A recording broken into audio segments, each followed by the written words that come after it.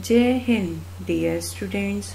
Hope you all are well and spreading the positive vibes around you with your love and care like a flower.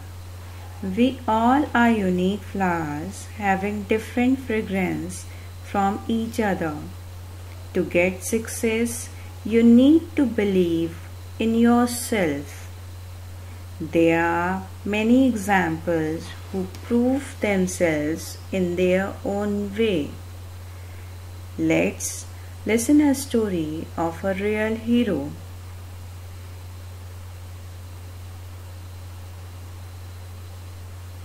Once upon a time, there used to be a little boy called Richard. He was dark and beautiful. He had these big eyes, curly hair, short and sweet. Anybody who would see him would fall in love with this cute little guy. Richard lived in a country called Africa. In those days, in Africa, there was slavery. The black people, the ones who were dark, were not allowed to do anything of their choice. Whenever he would run up to his master and say, I want to have an ice cream, they would say no. Whenever he would run and say, I want to play, they would say no, no.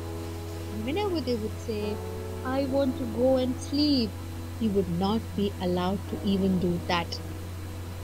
He came to realize that whatever he wanted, he could never do because he was dark, because he was black. And he started convincing himself, saying, Okay, this is what my life is about. I can't do anything, so let me listen to my master always. He becomes a very obedient child who always listens to the master and everybody you know kind of really lets him be. But one fine day he makes a big mistake and the master gets very angry. And they say get out. But your punishment is the whole day. You are going to clean the farm and the garden in the scorching sun. Richard is a small little child. He so he turns up and it's very hot outside.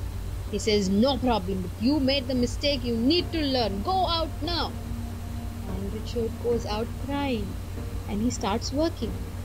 He cleans and he cleans the farm, he cleans the garden, and he cleans, cleans, cleans, and cleans. He has no time to look around because he has to finish all of this before the sun goes down.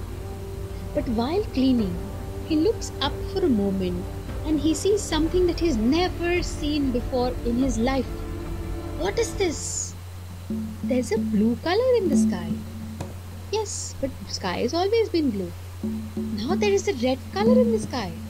There's a green, there's an orange, there's a white.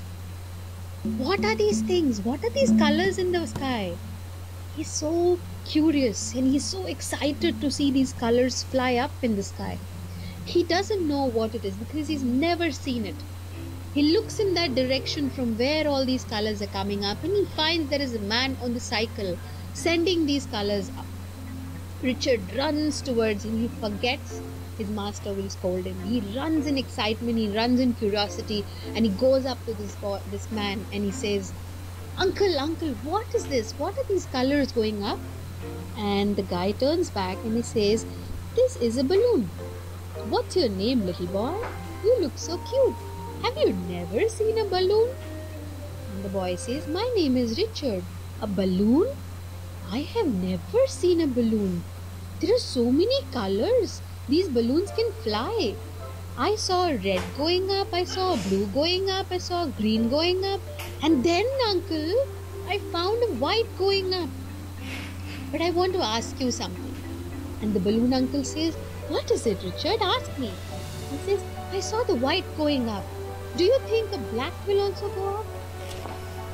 So, listening to Richard's question, the balloon man understands where Richard is coming from. He looks straight into Richard's eyes.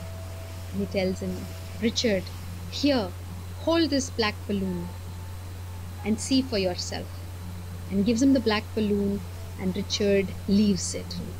And he's surprised to see the black balloon also fly. He's filled with joy and excitement, and he's like, the black also flew, the black balloon flew. And the balloon man looks at him in a very sympathetic way and he says, Richard, Remember one thing any color of balloon red, blue, green, white, black, anything. You name any balloon and it will fly.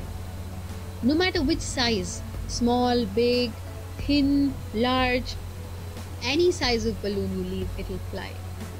The balloon flies not because of how it looks on the outside or where it's come from. The balloon flies because it has air inside. And just like the balloon, all of us human beings have the same air inside. All of us are born capable to fly. All of us are born capable to grow high, to succeed in our life. We do not have to get stopped with our color. We do not have to get stopped with our size. We do not have to get stopped from where we are coming, what we have, what we don't have. We only need to know if others have done it, we can also do it. There are many people before us who have been able to do it. You take Gandhi ji, you take a lot of leaders before us who have done it, and we have the same air, Richard, which means that all of us are going to grow and succeed if only we believe in it. You saw the black balloon go up. Now I want you to think that you can also grow in your life. So that day, Richard decides black can fly, I can fly. And from that day onwards, he only focused on growing and he became one of the you know, biggest leaders in the world.